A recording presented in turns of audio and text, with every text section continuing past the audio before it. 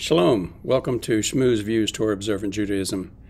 I'm Shmuel ben Shlomi, your host, and I'd like to thank you for watching this video. If you could, hit the subscribe button if you like what you're seeing.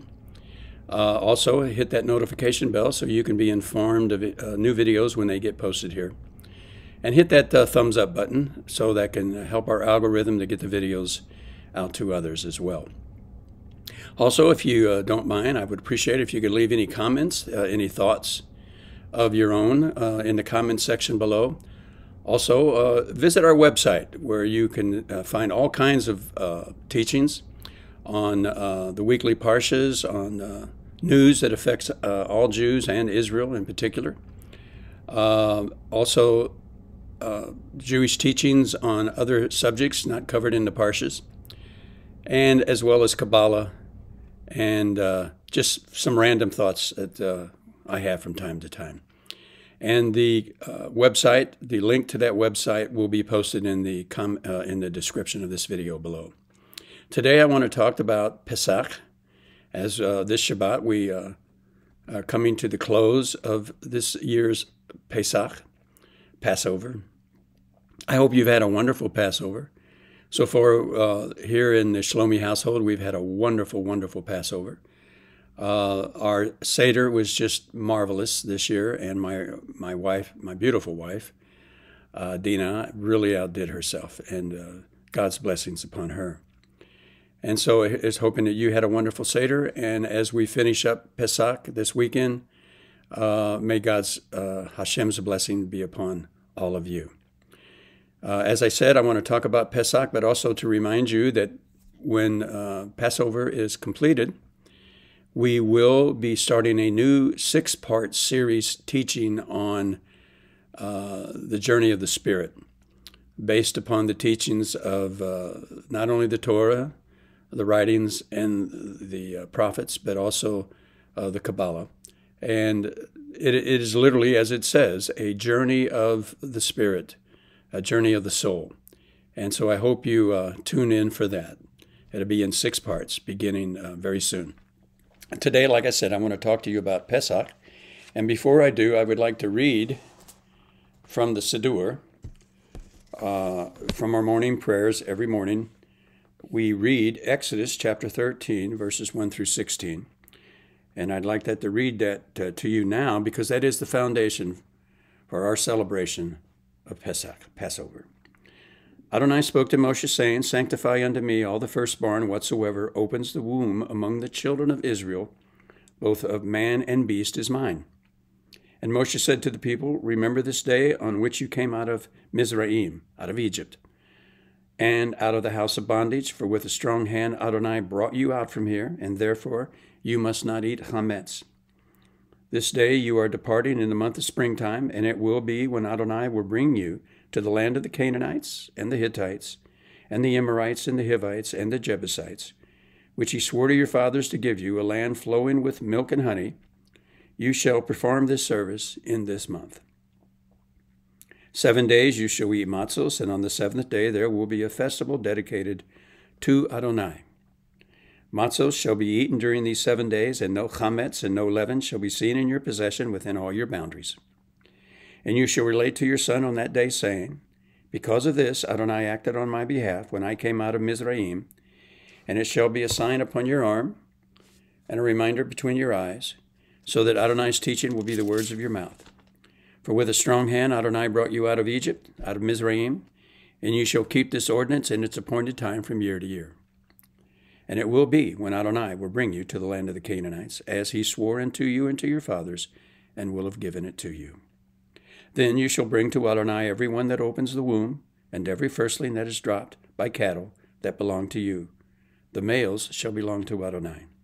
The firstling of a donkey you shall redeem with a lamb, and if you do not redeem it, then you must kill it by breaking its neck. You must redeem every firstborn of man among your children. And it will be when your son asks you in future times, saying, What is this? You shall say to him, With a strong hand Adonai brought us out of Mizraim, out of the house of bondage. And it was when Pharaoh unyieldingly refused to let us go, that Adonai killed all the firstborn of the land of Mizraim, from the firstborn of man to the firstborn of beast. Therefore I sacrifice to Adonai all that opens the womb that are males, and every firstborn of my sons I redeem. And it shall be a sign upon your arm, and for totophos between your eyes, for with a strong hand Adonai brought you out of Mizraim. Pesach is one of the most important festivals. It's one of my favorite because of what it reminds us of. But it's one of three festivals, uh, three holidays, if you will, in which we, as Jewish males, must appear before Adonai uh, in the Beit HaMikdash three times a year Pesach, Shavuot, and Sukkot. Uh, we'll be coming soon upon Shavuot. We've already begun counting the Omer, uh, which counts down to the day of Shavuot, a very important time in which God gives us his Torah from Mount Sinai. You know, I said we had to appear before Hashem three times a year to, at the Beit HaMikdash in Jerusalem, at the Holy Temple in Jerusalem. But we haven't had a temple for over two, or almost 2,000 years now. So how is that possible? Well, it's not. It is not possible at this time. but why haven't we had a temple for 2,000 years? I think it's important to understand the reason behind that some people would say, you know, some of the nations and some of the people uh, in the nations say, well, where is their God? You know, their their trust in Hashem means nothing because they haven't had a place together. They haven't had the presence of the Shekinah of Hashem in their presence for 2,000 years now. So, therefore, the truth of what they're telling us must be a lie. It must not be the truth. Well, that is, there's nothing further from the truth than that statement. We have not had a temple in 2,000 years, and there's a reason for that. And the reason is because Hashem is with us wherever we go, and He wants us to know that. He is not located in just one location. He's not like the gods and the idols of the peoples. They were territorial gods. They were gods that would be found only in certain areas. But God, Hashem, Adonai, Yod He Vav He, is the creator of all that is and is not. He created the universe, the sea, and the earth, and all that is in them. He is not relegated to one area only. Hashem is with us wherever we are. And for 2,000 years, He's made that very clear. Wherever we are, wherever our feet trod, wherever we are in the diaspora, Hashem is with us. It would be good, and I look forward to the day that Hamashiach comes and we rebuild the Beit HaMikdash, and the Shekinah of God comes down into the Kodesh HaKodashim upon the mercy seat of the Ark of the Covenant and makes his presence known to all the world. By number one, bringing all of us back to Eretz Yisrael. I look forward to that time. But, beloved, know this Hashem is with us wherever we are, just as he was with Yaakov, the promise he gave to our father Jacob that wherever you are, I am with you. Wherever you go, I will be with you. Well, Hashem is with us, temple or no temple. And that's why we haven't had a temple for 2,000 years. Because Hashem must, must imprint upon us. And He has been doing so for two millennia. That He's with us no matter what. We didn't quite get that lesson when we were in the diaspora in, in Babylonia for 70 years. But we've got it now we know now. And we yearn for the day when the Beit HaMikdash will be rebuilt. But this time, we will not fall into believing that Hashem can only be with us there. Hashem is with us wherever we are. The importance of Pesach, the first of the, of the festivals of the Lord. was number one, he set us apart, separated us from all the other peoples. He brought us out of Mizraim, out of Egypt, and separated us unto himself. Before this time, he had separated Abraham. He had separated Yitzhak. He had separated Yaakov. He had separated Joseph. He had separated his other 11 sons, Jacob's other 11 sons. But this time he has separated an entire people, us, the Jewish people, separated us unto himself. And he did so with a lot of pomp and circumstance. He did so with great miracles, the ten plagues. He made himself known not only to the Jewish people, but to the Egyptians and to all the nations surrounding Israel at that time.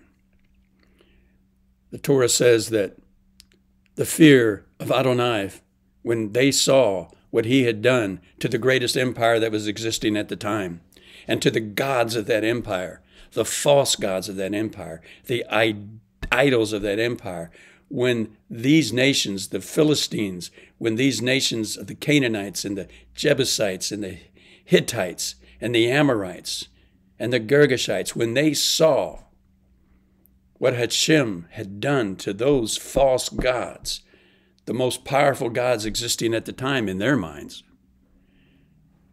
Fear fell upon them because they knew they were dealing with the real God of all creation and that He had chosen these people to be His.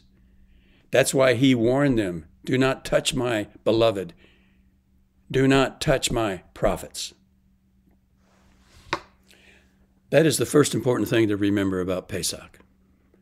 Hashem divided us from the rest of the nations. And the rest of the nations witnessed that dividing, not only of the Red Sea, the Sea of Reeds, but of a people as well from the rest of the world. And then we have the, the uh, Feast of Unleavened Bread. What is the importance of that? Well, unleavened bread represents the bread of life. And we, seven being the full number of completion, when we eat the unleavened bread, the matzos, for seven days, we're letting the world know that our lives are complete in Hashem, that we need no other substance, no other sustenance. Hashem is our life. And we witness to the world in those seven days that Hashem and only Hashem sustains us. We need nothing else. We need no one else. We need no other false gods. We have the one true God, Hashem, Yod He Vav He. Like I said, we be, have already begun counting the Omer, and the reason we count the Omer is to make amends, to make preparation for the receiving of the Torah on the day of Shavuot, at the uh, foot of Mount Sinai, when God, we heard God with our own ears. We saw the magnificence of God with our own eyes.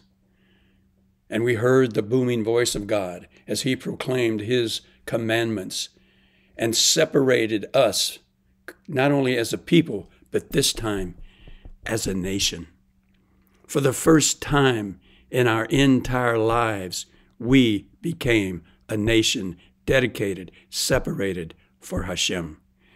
Israel, do not lose sight of the fact that we have a purpose. We have been separated for Hashem.